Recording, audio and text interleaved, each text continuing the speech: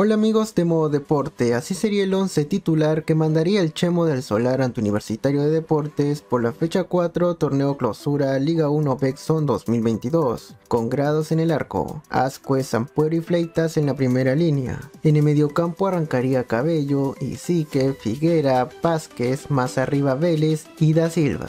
En el ataque estaría solo Jorleis Mena. Por su lado, el equipo del técnico Carlos Companucci comenzaría con Carballo en el arco. Santillán, Quina, Alonso y Corso conformarían la línea defensiva. En el mediocampo estaría Barco, Barreto, más arriba Vaca, Quispo y Polo. En el ataque tendríamos solo Alexander Zúcar. Cabe resaltar que este partido se jugará el 27 de julio a las 8 de la noche, hora peruana. Ojo que en la tabla de posiciones la Universidad César Vallejo se encuentra en el puesto 9 con 6 puntos, mientras que Universitario se encuentra en el puesto 4 con 7 unidades.